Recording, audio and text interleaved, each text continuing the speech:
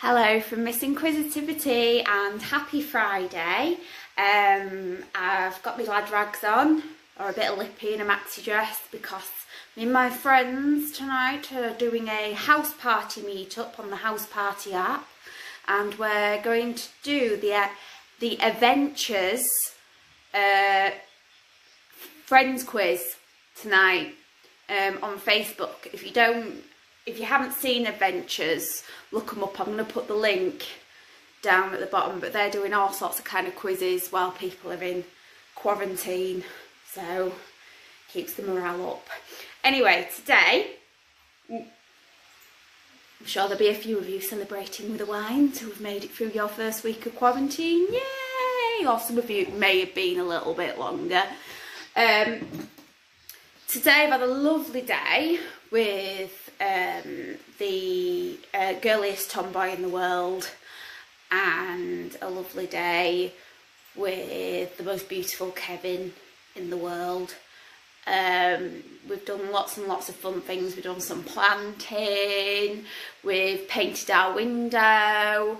Um, on my um, local group, big Facebook group, the local in the locality, um, I've put the feelers out there for a um, a rainbow walk to make a map. So I'll um, when I've when I've finished it, I'll um, put the link on here um, for how to make um, a rainbow walk map, which might be quite nice for your locality.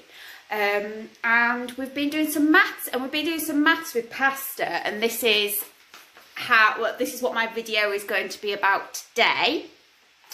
So I've just got three types of pasta. I did have four types, but the girliest tomboy in the world had a little bit too much fun with the pasta and it's all broken. But if you can keep an eagle eye out um, and then take it away, you can reuse it again. It doesn't, it's, there's no food wastage and boiling it in water will kill any germs. So you're okay to use it again as long as it's all kept relatively clean.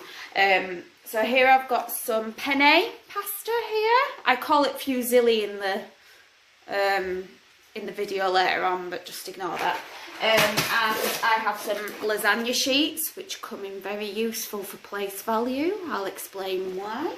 And I have some spaghetti or linguine, but you can use any pasta shapes you want.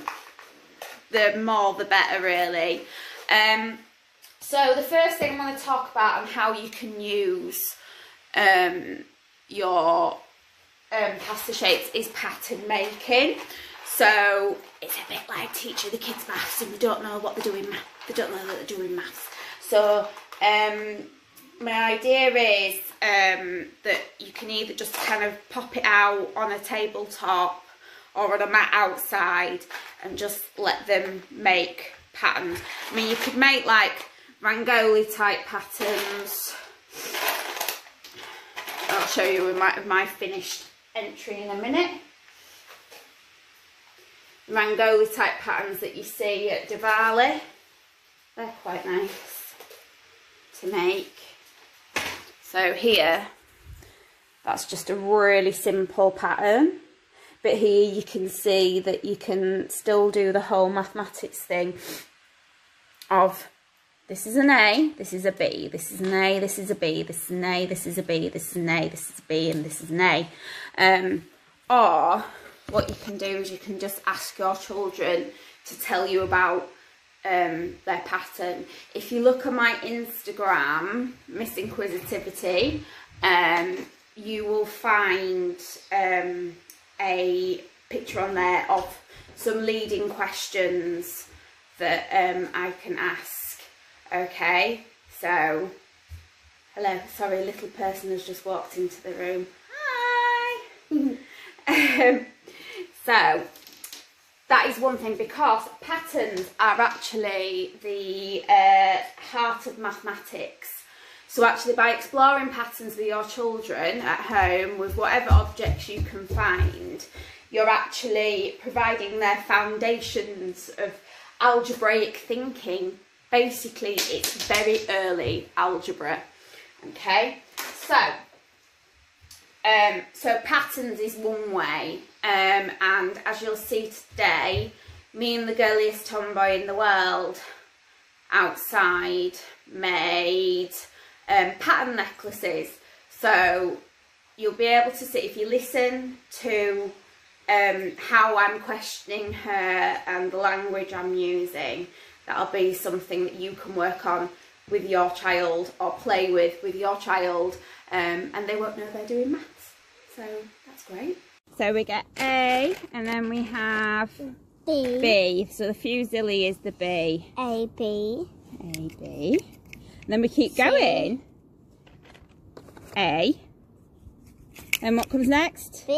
B. A. A.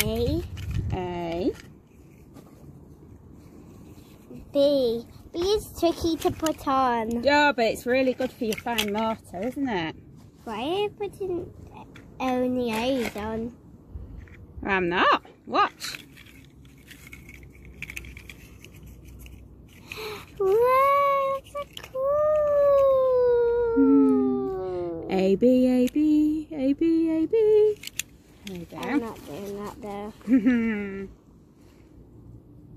An A, A, B pattern. Do you think you could do that? Yeah. An A, A. A.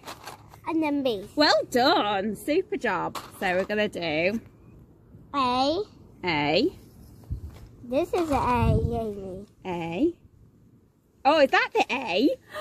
Silly me. Well done for correcting me on my mistake. You ready? Yeah. Okay. A. A. Ah, it keeps on coming off. It's all right. When can we keep it on here? Well, it's up to you. You can do your own afterwards. A, A, B. B. And then what comes after B? C. A, A, A. B, A. B. B. What comes next? A. A. Well done. Oh no, it came off. It's all right. Don't worry. Never gonna A. A again. One way that you can use pasta shapes in exploring patterns. I'm sure there are many more. Um, put in the comments down below if you can think of any more ideas. Let's share at this time of uncertainty. Okay. Um, the other thing that I did with the girliest tomboy in the world today was I worked with her with her teen numbers because she finds them a bit tricky teen numbers are very tricky because they don't really make sense, do they? I mean, let's face it, you go 11, 12, 13, 14. It should be 11 teen, 12 teen, surely. Like, it's very confusing. Um, but basically, the main structure or pattern that you need to remember is that um, 11 is 10 and 1 more. 12 is 10 and 2 more. 13 is 10 and 3 more, and so on and so forth. Haha, you're using your pattern recognising skills right now to know what would be next. Yeah, there we go. So, what we use, um, I'm sure you'll have seen in schools is something called Numicon, um, which is like these rectangles with circles in. I'll put a link in the bottom to show you. But um, as we, not all of us will have Numicon at home unless you're a teacher um, or you've managed to stash some. And Black Market's great for Numicon. I'm joking, it's not. Um, we can use these lasagna sheets. So these are worth 10 and then you can use the, the penne or whatever else you want to use as the ones. This lasagna sheet is worth 10. Okay, This was sheet is worth 10. 10. And this. And that one. And this. And that one. And this. And this. Could you count all those in tens? You mm. ready? I can't.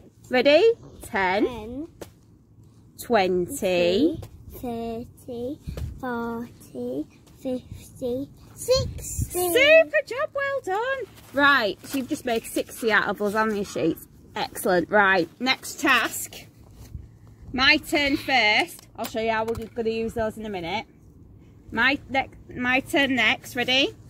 I'm going to make 12. You ready? So I need 10. And how many more do I need?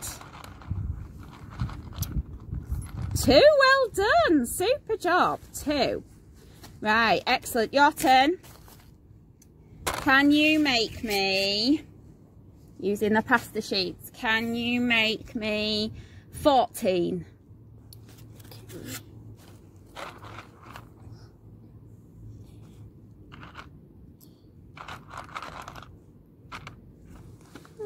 Fourteen, ten, and Four. four more. Well done. Good girl. Right, you ready? Next one. Ready? Okay. I'm going to make 16. So I need 10 and Six. 6. Well done. 6 more. One, two, three, four, Five. five, six. Super job. Well done. Right. 11. Make me 11. Yeah. One lasagna sheet and then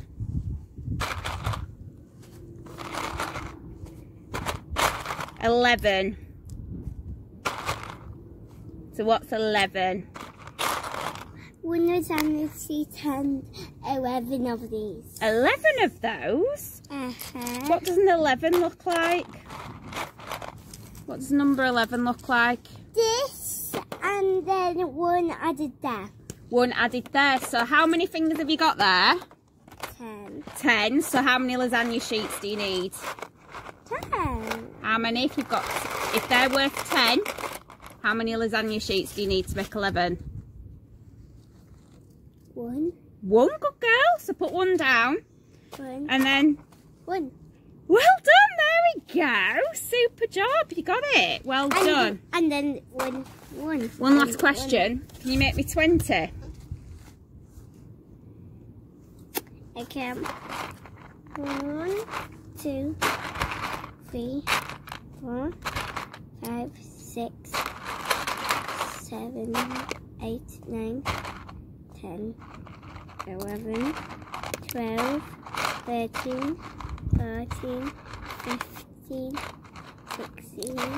I don't know how. You don't know how. Oh, is that tricky? So that's ten. So how many more do we need to make twenty? I got it. Hmm. 10, 11, 12. 13, 14, 15, 16, 17, 18, 19, 20. But hang on. What have we got here? How many have you got there? One, two, three, four, five, seven, eight, nine, ten. Ten. 10. So what could you have instead of all these pasta shapes? What could you use? Another ten. Another 10! Well done! Super job! Great maths. Um, okay guys, that's it from me. Um, happy Friday again. Got children leaping about in the background. This is why we need the wine. Um, I hope that um, you're enjoying your home learning experience as much as I am. And um, hopefully I will see you soon. Please subscribe. So click the subscribe button button down below. Um, please follow me on Instagram, Miss Inquisitivity, uh, Miss Inquisitivity, and please um, go on the website if you can, missinquisitivity.co.uk. Okay, that's all from me. Go and play.